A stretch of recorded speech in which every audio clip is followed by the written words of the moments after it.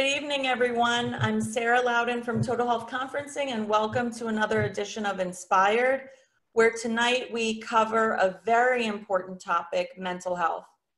Uh, I'm joined here by my guest, Dr. Christina Pozo Kaderman, who's the Director of Clinical Operations for Cancer Support Services at the Sylvester Comprehensive Cancer Center and voluntary faculty in the Department of Psychiatry and Behavioral Sciences at the University of Miami. Dr. Kaderman is a clinical psychologist and certified in sex therapy for oncology patients. Tonight, as we go through the various topics that we're going to be talking about, we're going to kind of cast a broad net because even though Dr. Um, Kaderman is very focused on treating cancer patients in her clinic, as we will uh, talk more about, um, what we're all going through collectively really has broad applications. And I think it's important to hear from someone who understands um, how to process things we're going through, especially in times of crisis like cancer so much is. Uh, we can really take a lot from this talk and hopefully find applications in our own life.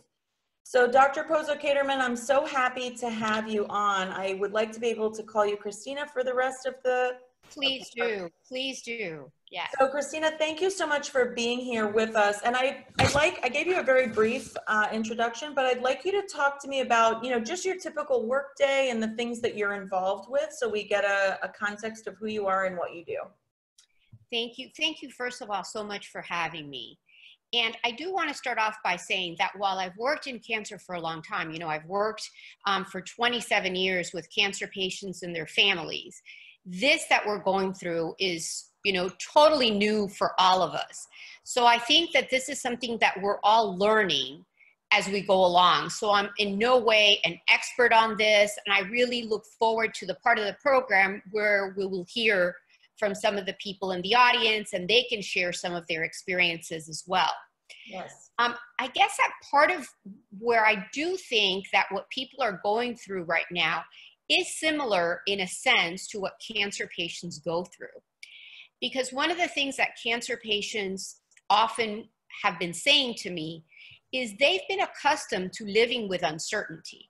Because you know, the moment you get a diagnosis of cancer, the first thing that comes into your mind, even if you have a great prognosis, even if they tell you, you know, you're going to go through treatment and you're going to be okay, the first thing that comes to your mind is, you know your mortality and fear about the future and that uncertainty. And i think that's sort of what we're all living with right now is the unknown. And so one of the things my patients and their families keep saying to me is that they're coping in a sense with this whole experience better than they had anticipated. Mm. um, because they've been developing for those people that i've been working with for months and some of them years they'll say to me, you know, we've worked on how to deal with the unexpected and how to live with the uncertainty and not always knowing what's going to happen. So that's been a really surprising part for me. I really didn't expect that. And that's what they've been sharing um, with me. And um, you asked what I do day to day. So part of what I do is obviously, you know, um, meet with um, patients, and now it's all on telehealth, which is great in many ways, but it's also hard because I'm sort of accustomed to, you know, being in person and being able to hug somebody and being there. And we can't do that. And I think that's something that everybody's also in some way struggling with. You know, we miss that physical contact because as human beings, we're social um, and then the other part of what I do, which you listed as uh, one of my titles, is I oversee cancer support services. And maybe we'll talk a little bit more about this later on, but in general, not everybody copes by talking to someone. Mm. And when we go through tough times, there's so many different ways that people find their way to deal. And that's what cancer support service is all about. And so, you know, we offer whether it's music therapy or art therapy or massage or um, acupuncture. We have a chaplain. So it's really being there for people in terms of whatever works for them. We're not imposing um, what we think is important. They can pick and choose. And you know, when we, right before we started this today, we were talking that for our mental health, you know, it is helpful, right? To make sure that as women, you know, we go and maybe men too, you know, that we go and we get our hair, you know, done and we do some of that self care and we socialize with the people because that's part of our routine. And that's missing right now. So, really, it's whatever makes sense to you and whatever makes you feel good is the way we really try to approach coping with t- difficult times. Does that sort of make sense? Absolutely. You know, one thing I'm going to try to do in the short time that we have together is just kind of put um, questions in categories because I do think that each one of us, as part of our coping mechanisms, are almost compartmentalizing the areas that are easy and then the areas that seem very kind of difficult to plan and then areas that we just don't want to address because it's too overwhelming. Right. So, you know, I'll start with the fact that, you know, for the most part, many of us are part of family units and almost overnight. I mean, I don't know that there was anybody that felt like they had almost fair warning to prepare. Almost overnight, those family units became locked down in the home.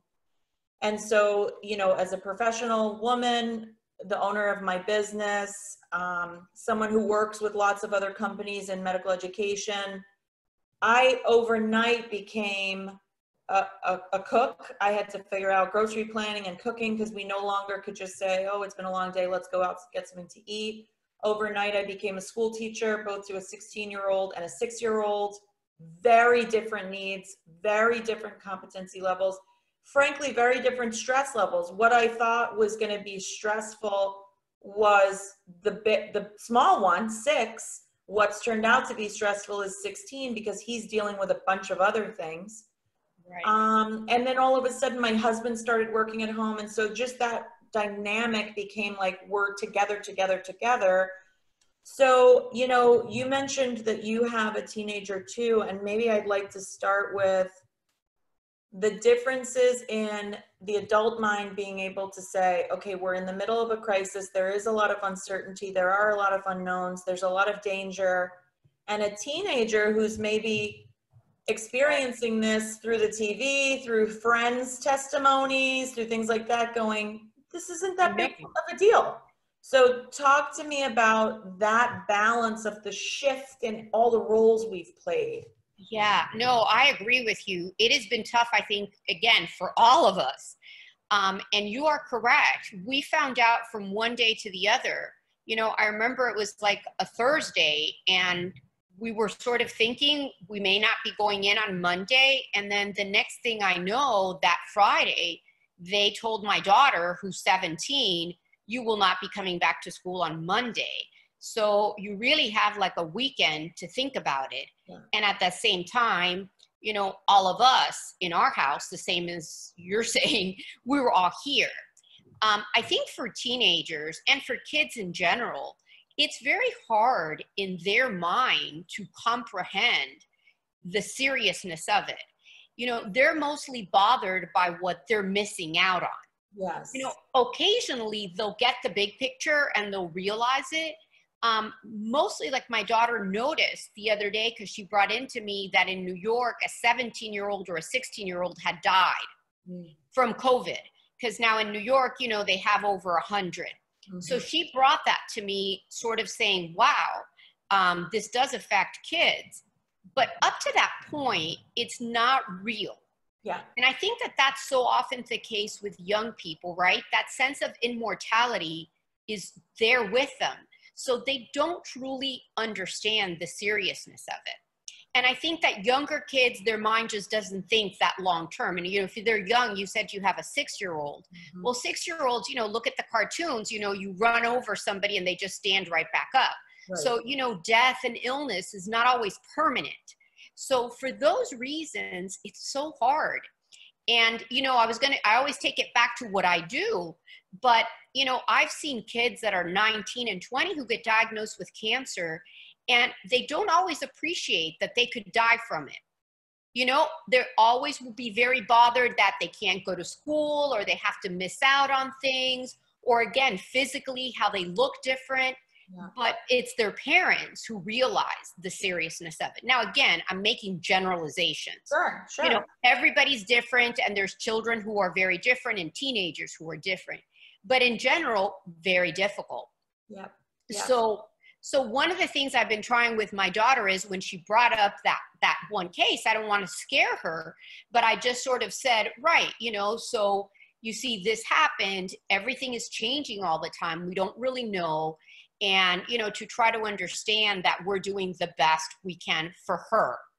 Um, but I think kids right now are just so excited to be going out and then you look at the television and the beaches are packed and the bars are packed and that i think is of concern because they're not taking precautions right mm-hmm. and so it's finding that balance between getting out but still being careful yes and everyone's experience with you know how this has unfolded i'm sure if you took a, a, a sample a random sampling from a high school um, group in new york city and contrast that to you know a group in a mountain state or even down here in south florida their awareness or their understanding of the seriousness of the potential of the virus is so different. So they're not even, even though they're having a shared experience of the sheltering and the, you know, the virus being something that's caused the entire world to kind of close down, what they're experiencing with who they know has it, who has died from it, you know, families that are in ICUs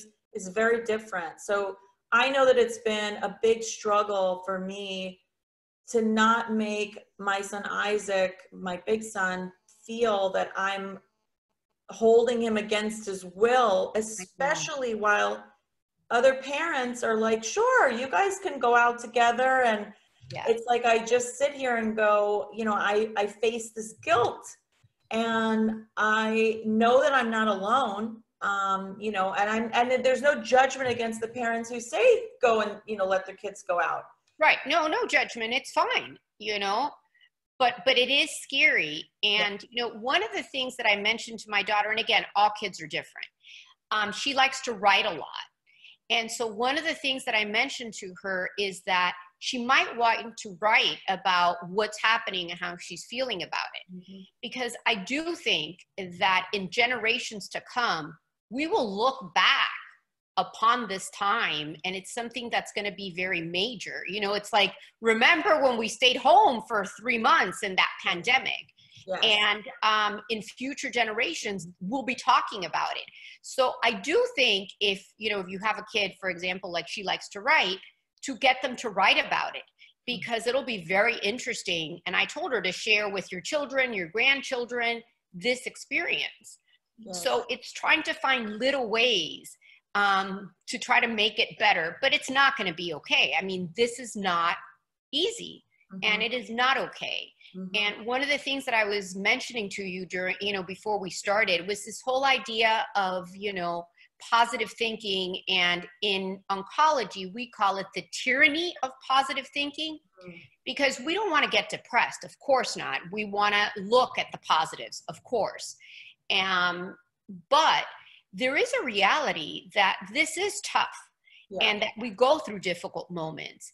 And sometimes just being able to acknowledge that and sit with it, even if it's for a moment, and say, you know, I, I feel really sad about all the things that I feel that I'm at loss, that I'm losing or I've lost. Mm-hmm. And again, they can be your daily routine, getting in your car and going to work, the gym. I, a lot of people have been saying that the gym is not only a great place to go work out because you can always try to do something at home but it's that social aspect of it and being there and the music and the whole environment. And now yeah you can do it online but it's not quite the same. And so to feel sad about that it's okay. And to allow yourself to feel that and a lot of the things on social media you know will say things like positive vibes only so it's this idea that you you have to be positive. Well, that's good and you should try, but to have your moments as long as you're not dwelling and ruminating and getting really depressed, it is okay and it's actually not just okay, it's it's normal. It's called being human.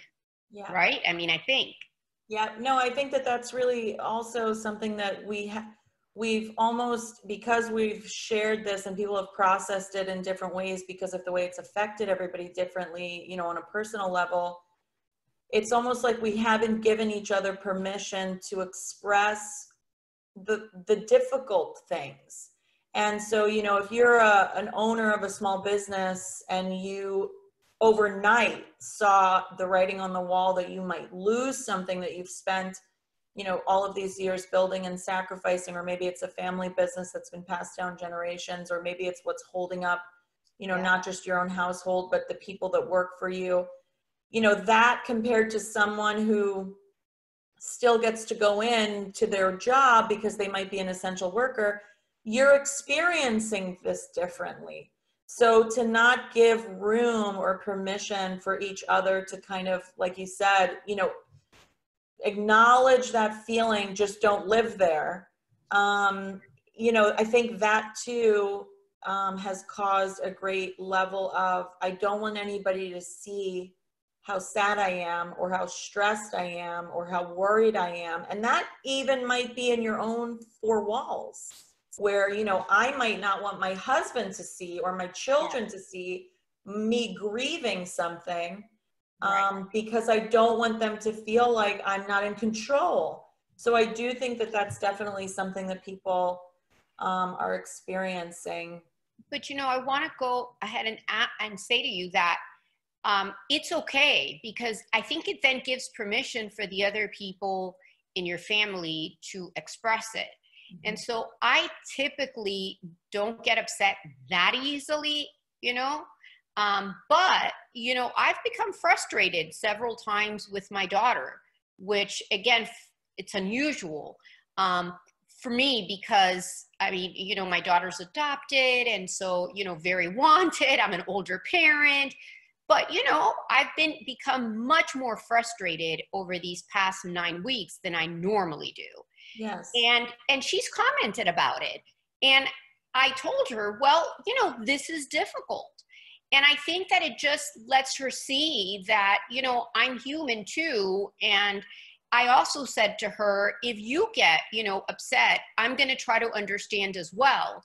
And i think it just allows people to express what they're feeling. If everybody's trying to just all the time keep it in you don't want everybody to let it out. But you know what i mean? Little bits. It's okay to let down a little bit and just express not that i do it enough i think that you know we often try to you know keep a lot in but little bit i think it's helpful for your family to see it and it gives them permission to feel their feelings too yes it's almost like would you say that you would encourage having conversations keeping an open line of communication yes. where you know you do go to yes. your teenager or your your little one or your yes. spouse and partner and say hey I haven't maybe asked this before, yes. but you know, how have you been feeling over the last few weeks? And then, you know, how do you feel right now? So that people do feel that they do have permission to share. Yes, yes. And if they feel angry or, you know, those emotions that we sometimes don't feel so comfortable, if you can talk about them, as you just said, I think that that will definitely be helpful. Yes. I think, anyways, you know, I, I, um, I, I definitely, I definitely think that that has given a lot of our listeners permission to do that. Um, because I know, I mean, today, this morning, I woke up and I just there was a memory shared on my Facebook page of what feels like another lifetime ago of normalcy, and I I just was so overwhelmed. I mean, I literally started to cry. I feel like I've cried all day today. I got an email from the Capital Grille saying, We're proud to announce that our dining rooms are open. And I'm reading through it and I started to cry as right. I'm reading it because the first thing I thought was, I can plan a date night with my husband. Yes. It wasn't even that I was thinking like of the fear of I hope that they sanitize and I hope that I this. And right it just was like, oh my gosh, like reservations are open. I can do this. yes. To cry with this overwhelming feeling of could it be that something that feels normal is like inviting me to come back to it?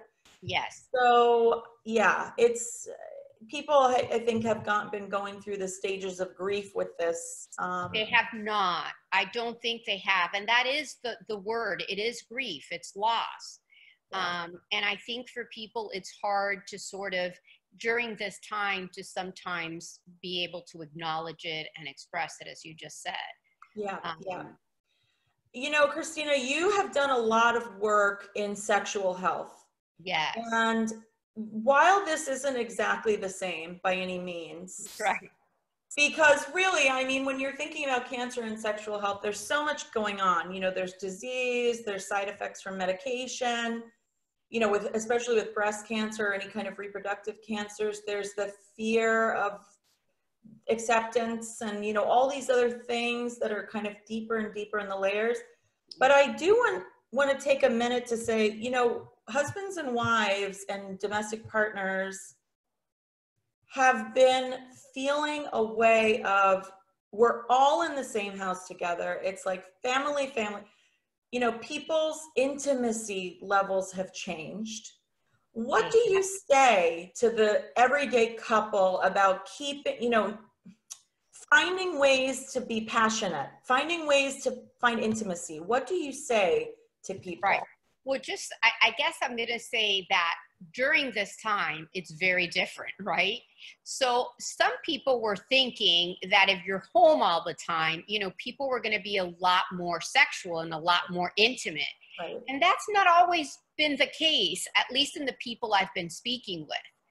Um, so there was an idea there's going to be all these COVID babies, you know, nine months from now. And I don't know if that is really happening because, again, as you said, people are feeling not necessarily that they they can go out. So they're really stuck in a sense. Mhm. and everybody's trying to adjust at the same time and it was also sudden. Mhm. so that intimacy is not so easy. Your kids are there all the time right? So they're not getting tired so they're having problems sometimes sleeping because they're used to going to school and running around. Mhm. and now they don't really want to go to bed because they're not so tired. So it's really difficult to have you don't have a babysitter that you know can take care of them. You don't have your parents maybe or friend that you know can take them. So the intimacy is a bit more challenging during this time. So it's very different and i think that it's finding smaller ways sometimes to be intimate that may not always be what we would typically think as sexual um, but doing things for each other and being physically close, if not necessarily uh, sexual, um, because that's going to be a bit more challenging. And I will tell you, um, with the people that I've been seeing, you know, on my telehealth, um, that's been one of the things that they've been commenting about, that they just don't have the space Mhm. um, not just um, physical but emotional space Yes. um, sometimes you know when you go out and you're away and then you come back but here you're on top of each other all the time and no matter how much you love people you know um, i- i- it's difficult it's challenging so and it, I think that there's too a layer of you're tired in ways that you haven't been before. And also that, you know, when you are finding those opportunities to connect, it almost feels like um, foreign. It's not the old, you know, hand holding, kiss here, there. It's just like we're going through something. And I think that that also, you know, the lack of intimacy in a in a relationship leads to to the deepening of the feeling of isolation during all of this. Right. So it's just so many layers of disconnection, spirit to spirit, soul to soul. And I think that that's definitely affecting, I don't know if you would agree, affecting the way, you know, I- people are processing each day. I do. And that's where I think that to find some small activities that you could share together, you know, obviously, um, I think work has started to take over your day. So that's again, this is all is going to impact your intimacy because we're all on the computer now. We're working from home. And if you're not working from home and you're going out, then when you come back, there's this whole ritual, right, of getting undressed and showering. And, and so um, it, it's really not at all what we're used to. Yeah. And if you're home and you are all day together and your work starts to bleed into your own personal family time, then you are going to be exhausted. I think that, you know, we will develop something known as, I think, you know, Zoom fatigue. Yes. Um, because it's different, right? It's you're on a computer all day and you're watching people. I interact with people all day, but it's not quite the same as when the person is in front of you. There's yes. something a little different it's helpful. And for example, all my patients have been thrilled that we can still communicate and they're very grateful. But at the same time, it's not the same. It takes a lot more effort to connect to people because you're not, you know, you're not having that sort of face to face. Um, and the end of the day, people are telling me that, you know, they're answering emails and doing things um, till late hours. So more so than usual. We're already doing too much of that, but now it's even more because people feel that they're not working enough because it's sort of like on the computer or and so one of the things that I've really been suggesting to people and I try to do it is to really start to set a schedule for yourself. As hard as that may be and to have a clear delineation between work and home Yes. Um, and to really try as much as possible to um, honor that. And past a certain time, you're just not going to.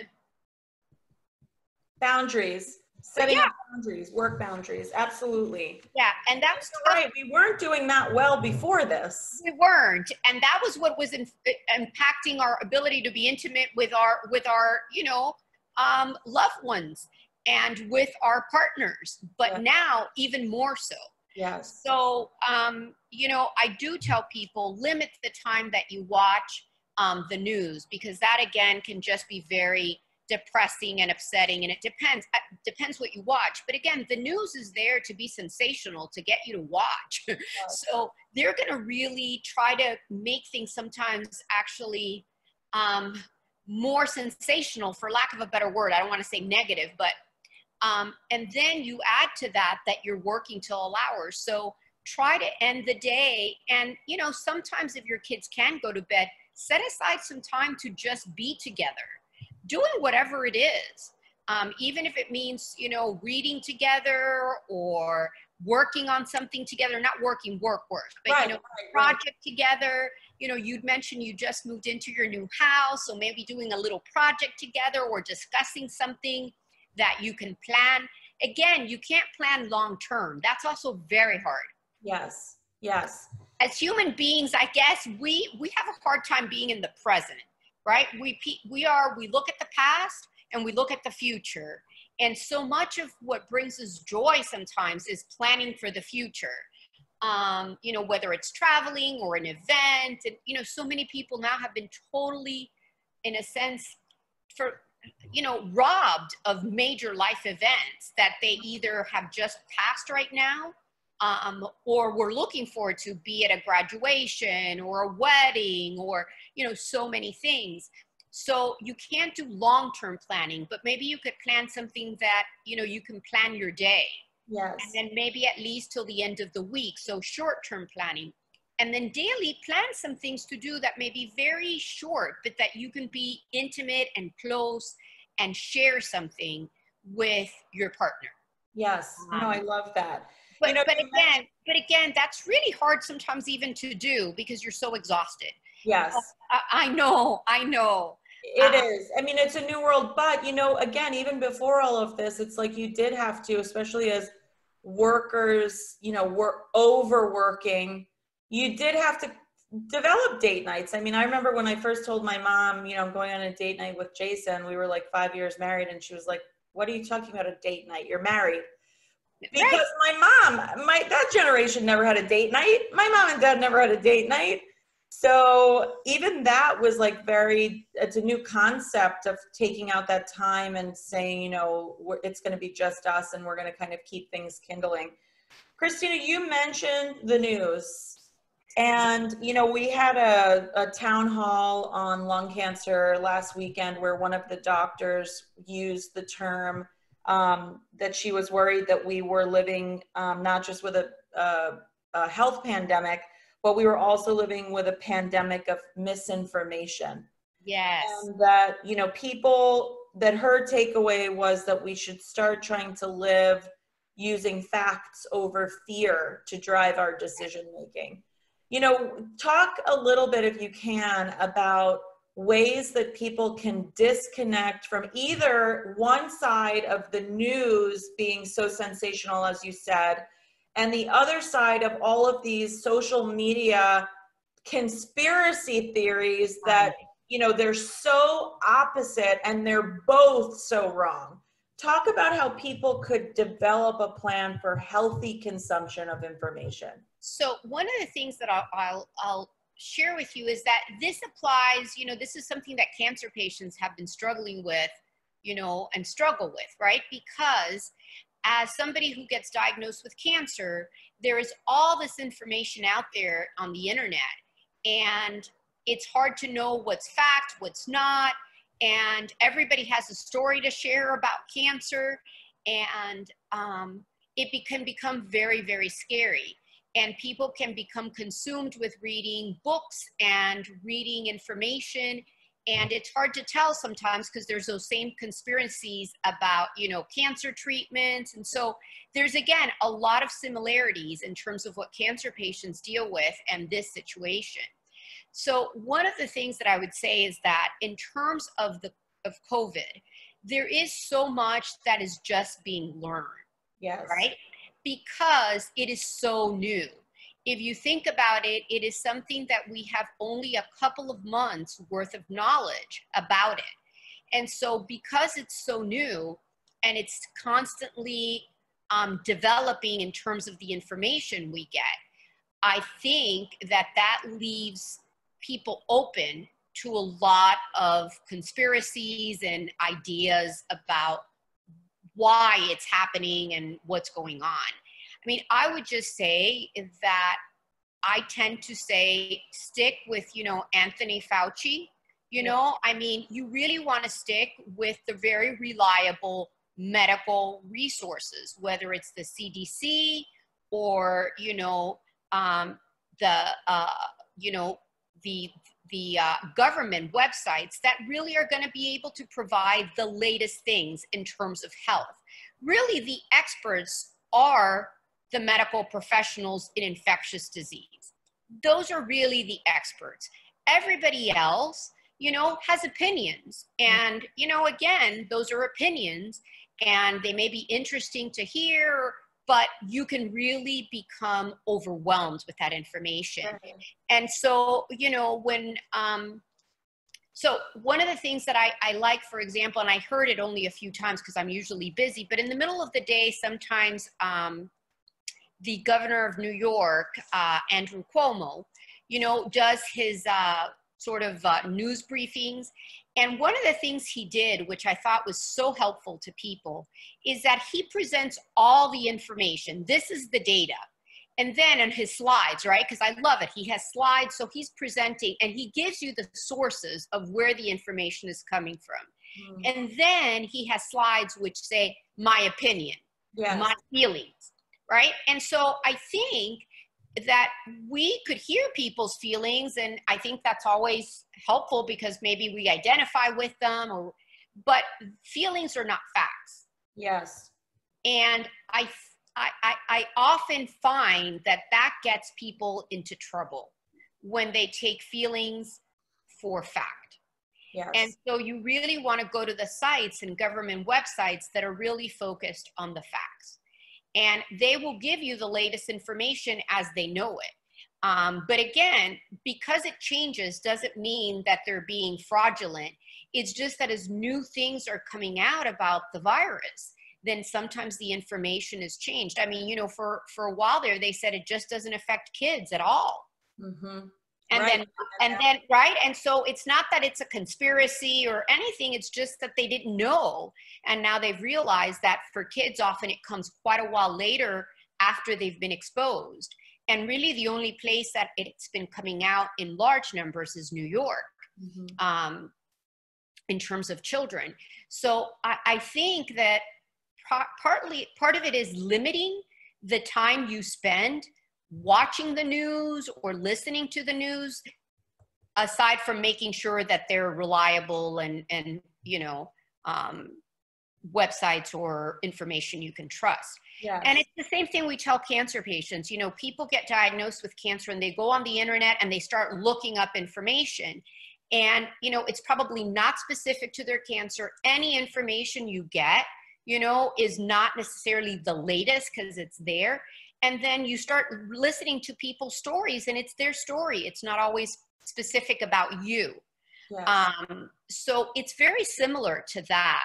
And I will tell you, I think that I listen to the news in the morning. I like CBS this morning because they do have some really um, sort of happy stories. They always mix that in.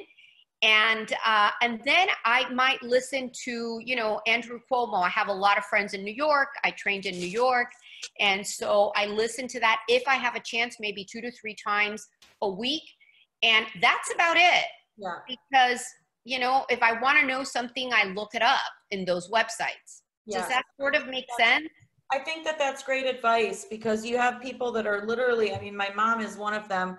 She wakes up in the morning and the TV goes on. And, you know, I, I also think that that's another population that we're not paying enough attention to. yes My mom's 73. We live in South Florida. So we're in a, you know, she's in a 55 and older neighborhood.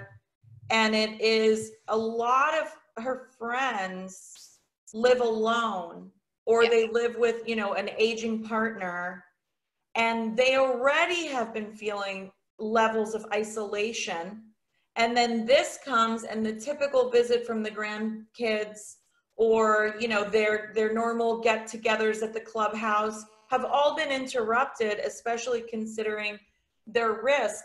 You know i brought this up with a doctor in um, in kansas city who focuses on survivorship for cancer. And you know for the listening audience i want to again kind of contextualize that both Christina and I, our field is in cancer. So we liken a lot of the things to that, but by no means, you know, are the things we're talking about related only to patients or caregivers in the cancer space.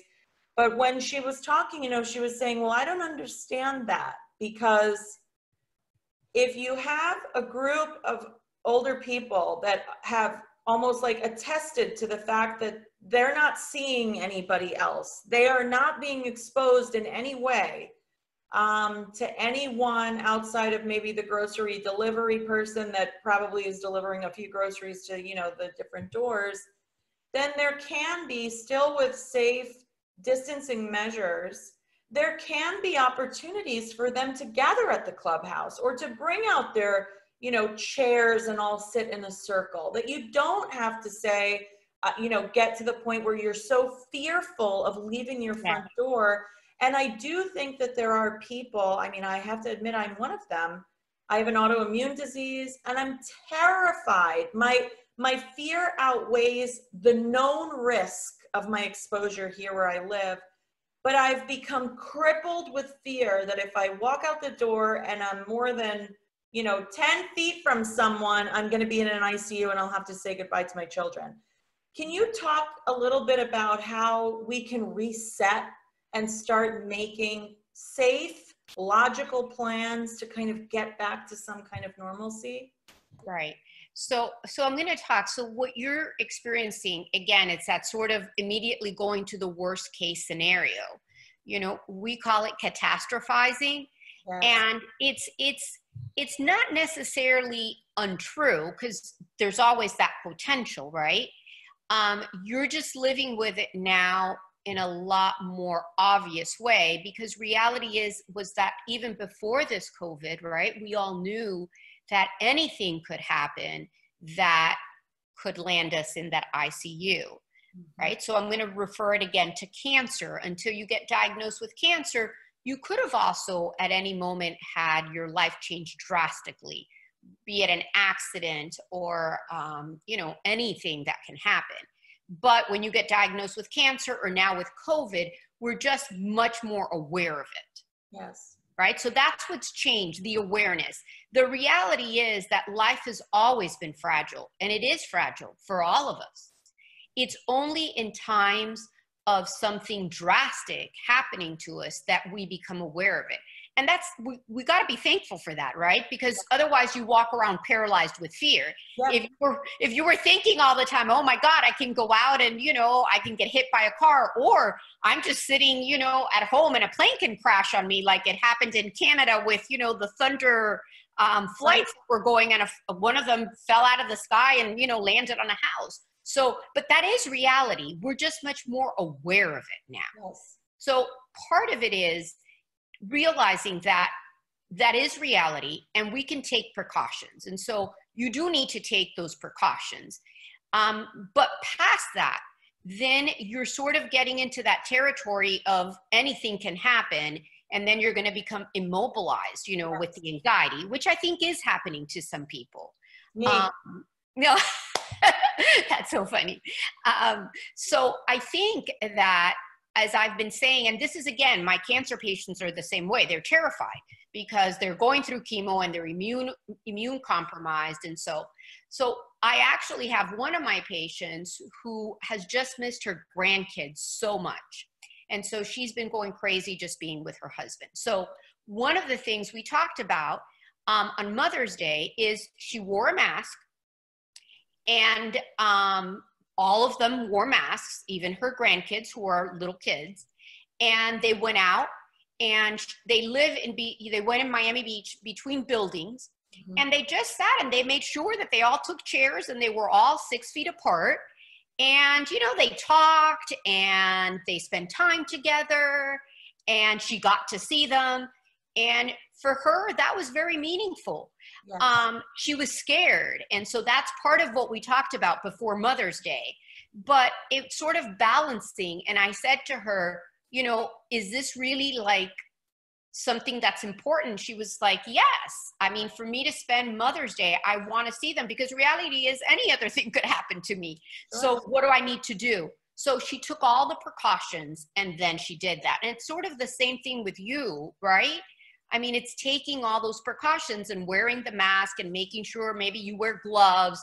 You might have to do a little bit more than somebody who doesn't have an autoimmune, but you still will need to go out some because otherwise.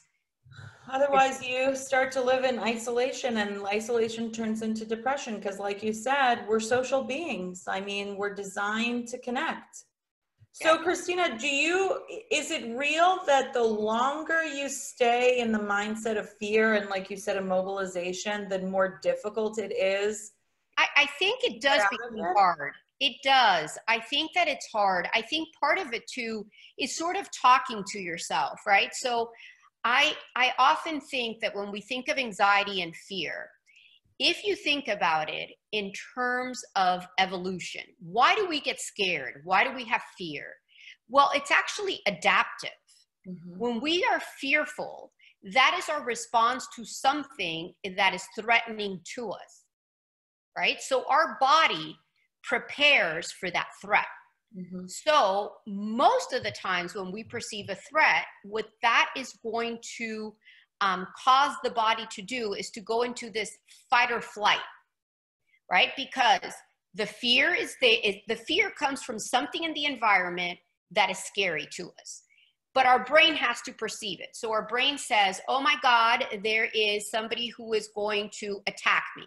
There is an animal that is going to come and attack me. So I need to either fight or flee. Mm-hmm. And as soon as you make that interpretation of an event in your mind, my body, I am under threat, that whole cascade happens where your heart will start racing because you're going to need more blood to be pumped. Your breathing is going to change because you need to bring in more oxygen and you need to move that blood around.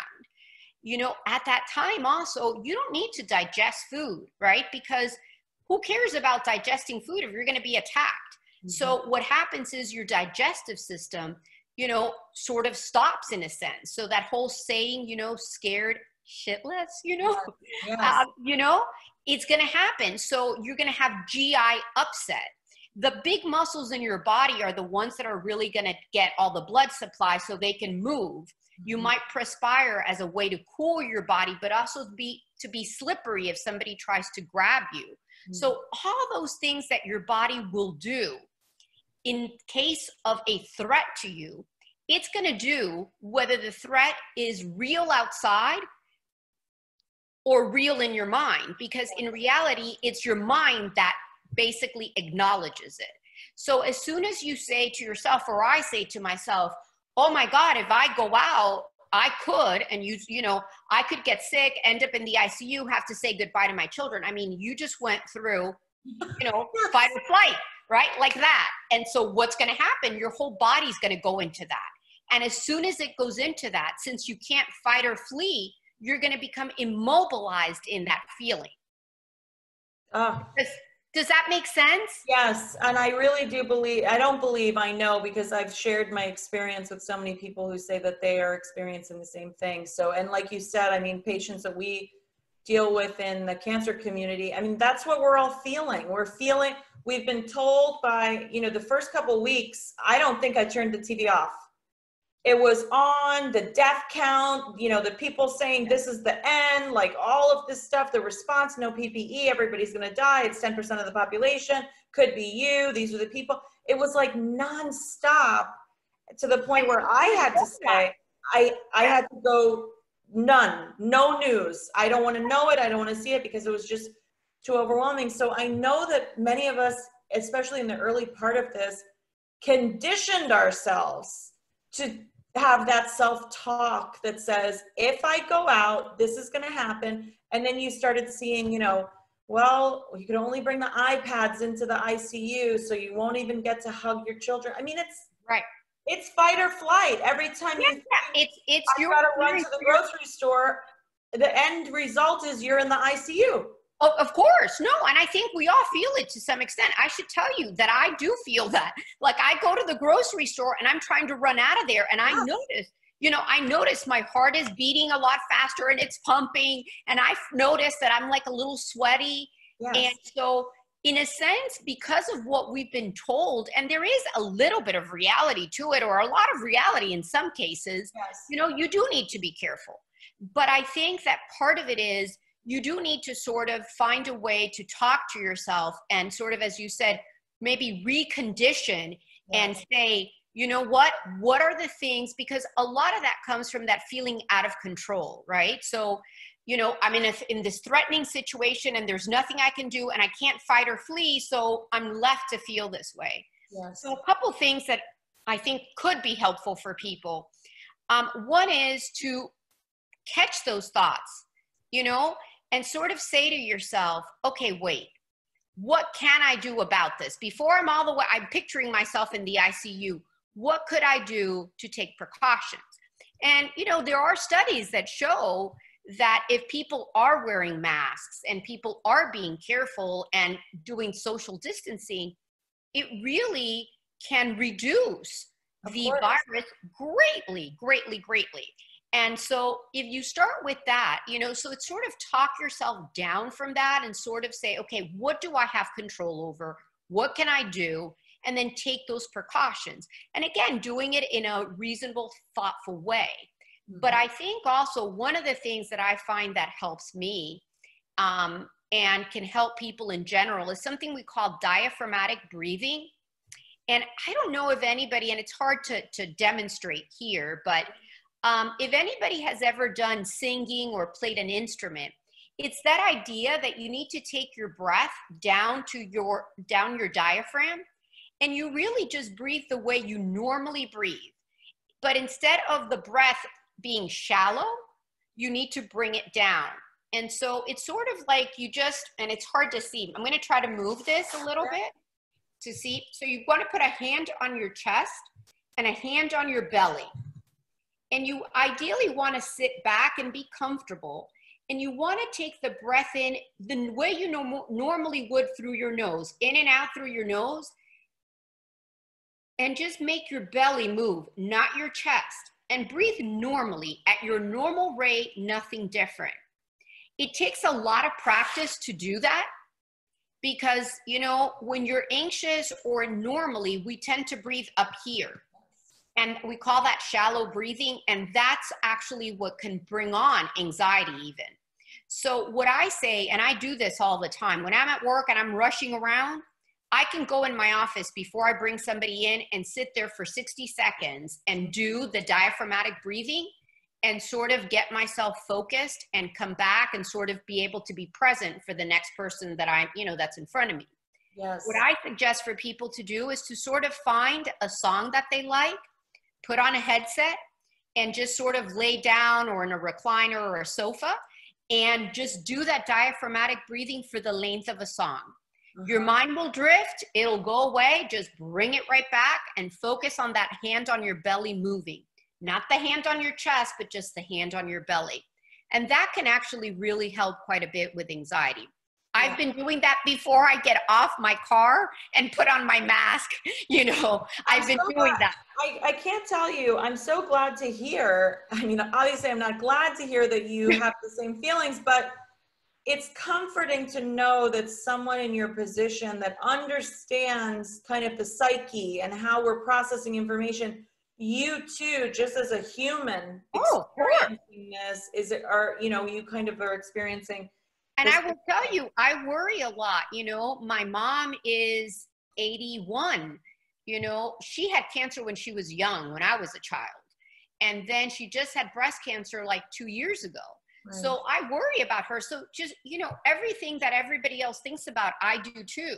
Yes. It's like I don't have a secret, you know, um, way to cope. I, I feel the same. And as I said, a lot of the things that I've been doing, I've been learning with people that I talk to.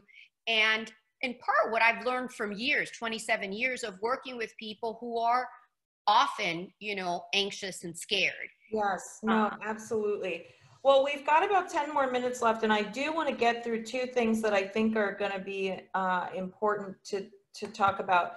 You know, you and I were talking before the program, and I was, you know, sharing with you that I did move into a new home and that, you know, the experience of being here hasn't been what I had dreamed it to be all the time we were preparing to move in. For instance, you know, I didn't get the opportunity to go to the mall and shop for all of the trinkets and things like that. And I didn't have a housewarming party. I didn't even have a dinner party with friends and family.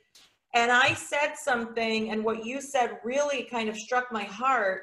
I said, um, but then I have to think about people who have lost their jobs, and maybe that's going to lead them to lose their home, and then I've got to be grateful. And earlier you talked about you know the tyranny of positive thinking which kind of falls into that like well i have to always be thinking of a grateful thought or always be thinking of a positive thought. But you mentioned this notion of comparative loss. Yes. can you talk to us about what that is and how to recognize it and how not to allow it to steal what we're feeling? Right. Yes. Thank you for asking about that. You're right. We did talk about it. So there's this sense right now when you look particularly at the news or you know you talk to friends that have jobs that they may be in danger of losing or have lost their jobs their homes they don't have enough to eat. So when you feel sad about something or you feel you're missing out on something you then start to beat yourself up yeah. because how can i complain when i do have a house right? Or how can i complain when you know i do have food to eat um, so it's this beating yourself up that is just not healthy because everybody's loss, everybody's pain is their own pain. And it's not a comparison, you know, this one has it worse than I do. It's really just, it's my pain and recognize it and allow yourself to feel it. Again, not dwell on it, but don't beat yourself up about it because then that just compounds it. Now you're feeling bad and you're feeling shame. There's no reason to feel shame. Yes, yes. So, you know, you brought up gratitude. And so I do think that it's that finding that balance between allowing yourself to feel whatever you feel, but not losing sight of the things to be grateful for. Yes. And um, that's something that I learned about um, actually as a child with my mom at 27 getting diagnosed with cancer and having it recur twice and thinking she was going to die. So, that whole idea of gratitude is something that I strongly believe in, but not to the exclusion of allowing yourself to feel. So, whether you want to wake up every morning and sort of, you know, make a gratitude list and sort of look at it and when I say a gratitude list, by the way, I don't mean these general things. Oh, I'm grateful uh, to have a home. No, maybe a little bit more specific. You know, I'm grateful to wake up and look at these beautiful sheets that I have, or I'm really, you know, very, very specific.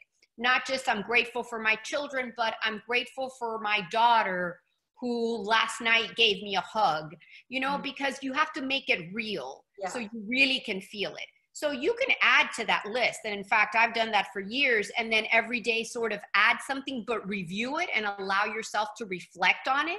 Mm. Great way to start the day. Great. But that doesn't mean that if at later in the day, at some moment, you feel frustrated or you feel like you're missing out on something, you immediately have to like beat yourself up. You know, it's not either or. You can have both. Yes. Um, I, am going to say this last thing. It's sort of like the range of emotions that we experience right now. We may feel happy one moment and angry the next, and sad and calm. And we're going to feel that whole range of emotions, and it's okay. You know, you just have to feel it. It may be all in the span of half an hour, or it may be in the span of a day, or but it is what it is. And so take the positive, but also allow yourself the negative, just not that rumination where it gets to the point where you become severely depressed. Yes. And if you do, then you seek treatment, right? You you contact your insurance and there's plenty of people now that are all providing, you know, telehealth mental health services. Yes. Well, I mean, this has just been amazing. I, I joked with you that we could do, you know, a weekly uh, tea with Christina um, because there's just so much richness to being giving ourselves space to have this type of conversation. I just want to go quickly over some of the takeaways that I had, and you know we're we're going to rebroadcast this. We're pushing this out, um, you know, to thousands and thousands of people so that they can find similar solace in um, and comfort and you know hearing that this is a normal these things that we're experiencing are normal. Yes. Um, they're nothing to kind of suppress or push away. They're definitely nothing to feel shamed over. You know you said to some of the tangible things we can create opportunities within our own household maybe even within our own friend groups where we give each other permission to express how we're feeling with no judgment with no trying to correct, oh, well, you shouldn't feel angry, you shouldn't feel frustrated. Just give each other permission to express. Um, you said find small ways to connect. Just even, you know, tiny things you can do in the day, a handhold, a kiss, a check-in, a text message back and forth with your um, spouse in another room. Uh, same thing with your children. Try to set a schedule for each day um, look to making small plans because planning right now is very difficult to do on a long-term basis. Limit TV news time. And when you do tune in, look for reliable experts.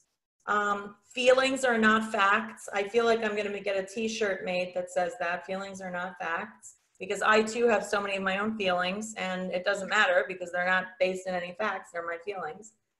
Um, I love this one don't catastrophize. Well, try don't, not to. Try not. Try not to. But I mean, really, I, I have struggled with that my whole life. I go from here to the ends of the earth with what could happen. And it's really, there's nothing good that comes out of that. Um, they say something like, you know, 95% of things that people fear happening will never happen to that person in their lifetime. Um, life is fragile for all of us that's something that's not new to COVID, but definitely um, more amplified during this time. Um, catch feelings that you may be having and kind of try to try to talk to yourself differently. You know, what can I do? Think about it as reconditioning.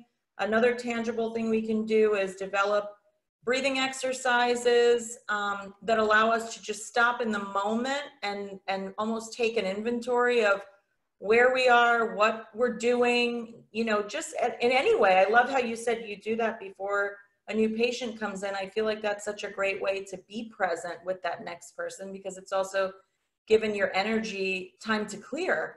Yes. Um, so I really love that. Um, don't kind of deal with in this in this mental state of comparative loss. I think we have done that really all of our lives. Every time that there's something that's difficult or we are diagnosed, but then we think, oh, but that person's dying. But that doesn't help us validate what we are going through um, right now. Find gratitude, be specific about those areas um, of gratitude, but not to the exclusion of honoring the other things that you're feeling um, and take time each day to review and reflect on those on those things that you've listed for for gratitude. Christina, I've loved this hour with you. I mean, Sarah, I, you. I felt like this was going to turn into a personal therapy session for me, and in a way, it has. Um. But in another way, I know that we've addressed so many things that people have been feeling and I really do want to honor you from being here with us tonight, giving us your time, giving us your experience, giving us your wisdom, sharing with us ways that we can cope a little bit better in this time. Um, so I thank you for everything you thank do. You. Thank you, and, Sarah, for having me. Thank you. With you again in person. In person, I know. I can give you a hug. Yes, yes. I can't we wait to give a virtual you. hug and kiss to each other. Yes. And yes. you're on my prayer list, as is your daughter. Uh, know that you know family. Yeah. That's what I've had to keep saying to myself all the time. I'm not alone. I'm not alone. I'm not alone. You're not. No, right. And I do feel that when I do kind of sit down to pray for other people, it's not even in a comparative way, but it it's almost like my own gratitude list. Actually, the yes. opportunity to think about what those people mean to me and that I can stop and pray for the things that are important to them. So no matter what your gratitude list looks like, I think that that's such a beautiful takeaway from this time together. Yes, thank you, thank, thank you. And you. are right. When you do nice things for others, that makes us feel good and it's good for us. Yes. yes. Kindness. Thank you yes. so much. You have a wonderful night. And ah, you too. Thank okay. you, Sarah. Okay. Bye. Bye.